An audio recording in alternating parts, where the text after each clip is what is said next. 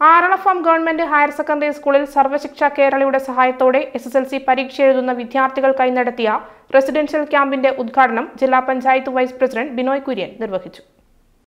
ജില്ലാ panchayat vice president Binoy Kurian ഉദ്ഘാടനം ചെയ്തു. ആറളം ഗ്രാമപഞ്ചായത്ത് പ്രസിഡന്റ് കെ പി രാജേഷ് അധ്യക്ഷനായി.